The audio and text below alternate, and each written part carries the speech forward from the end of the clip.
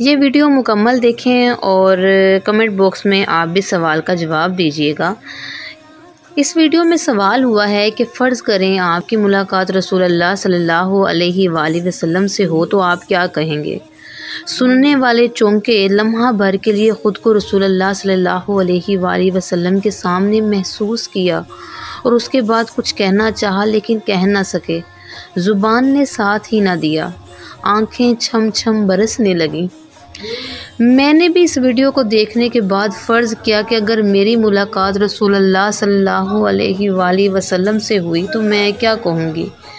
میں ایک بھر کے لیے، ایک لمحہ بھر کے لیے خاموش ہو گئی، خود کو رسول اللہ صلی اللہ علیہ وآلہ وسلم کے سامنے محسوس کیا تو اپنے آپ کو بہت گناہ گار بدکار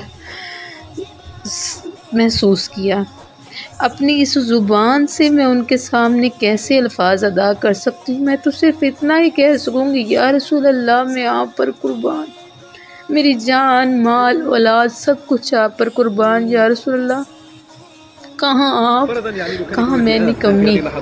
یا رسول اللہ، میری زبان بھی ساتھ نہ دے سکے گی۔ اب میرا یہ سوال آپ سب سے ہے۔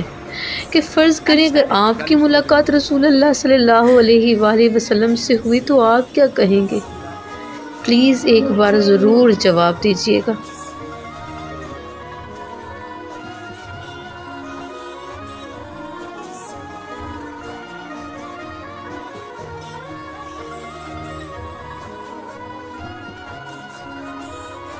لو كان النبي صلى الله عليه وسلم بيننا الان شعري تحب تقولي له شعري تحب تقولي له احكي لها شعر شو صنع شو مضايقين مسلمين ما صالحني دايما مسلمين ما